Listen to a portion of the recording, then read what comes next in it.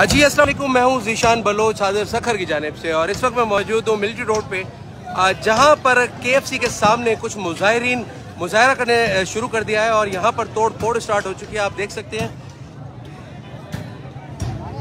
ये मुजाहरीन है मोटरसाइकिलों को आग लगा दी गई है, यहाँ पर रोड बंद कर दिया गया है, और